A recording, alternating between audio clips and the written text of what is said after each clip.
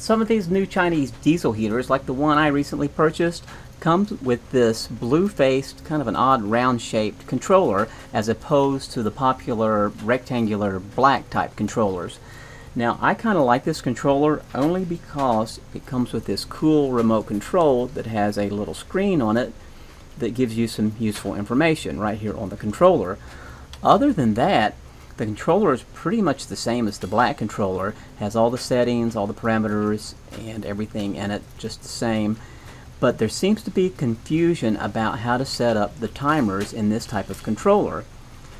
This unit didn't come with any kind of instructions. I did get a manual with this all-in-one unit, but as far as the controller itself, there's no information whatsoever in the manual. So I rely on places like YouTube to get some information and there's no correct, accurate information on how to set up the timers on this type of controller. So through trial and error, I have finally figured out how to set up the timers in this particular controller. So I'm not going to go through every setting on this controller and the advanced uh, menu. It's pretty much the same as the black controller. I'm going to concentrate on showing you how to set up the timers inside of uh, this controller. You can still scroll through here. That's the um, ambient temperatures, 29 degrees Celsius. Uh, the pulse rate's on 1.2 hertz currently. 13 volts on the battery that's currently hooked up to it. Uh, 322 meters above sea level. That's about right. And error codes. No errors at, the, at this time. And back scrolls back around to the time in 24 hour format. The two timers in here just like on the black controller, there are two timers. But these timers have to be thought of as countdown or delay timers. Timer 1, and I'll show you how to get to this, but timer 1, when it's turned on, it's basically wanting to know how much time do you want to wait before this unit turns on. So if I want this unit to turn on, let's say two hours from now, timer 1 I would set for what looks like 2 o'clock, but it's actually 2 hours and 0 minutes.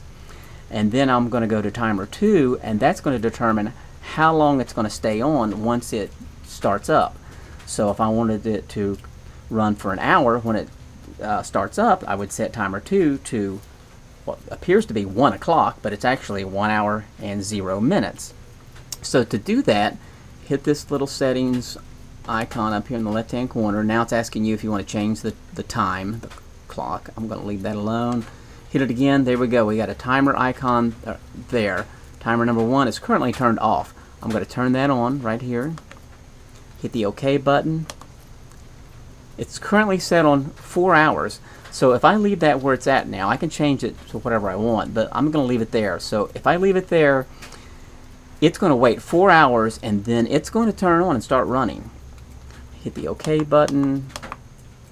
Now it goes straight to timer 2. It's turned off. I'm going to turn it on. Hit the OK button. It's set for one hour. So when this turns on, it's going to run for one hour and then it's going to stop. And the time when it stops, it's going that little timer icon is going to disappear and if you want to use the timer function in this again, you're going to have to go in there and set it all over again. So if you wanted this to, uh, if you wanted to use the timer in this every day, then every day you're going to have to go in and reset it because once it goes through a cycle, the timer disappears and it will be turned off automatically. So I hope that clears up how to set the timers inside of this particular style of controller. It's not a function everyone wants to use, but it's kind of nice to know how to use it in case you ever decide you do want to use it. So thank you for watching the video. I hope this helps, and I will catch you on the next one.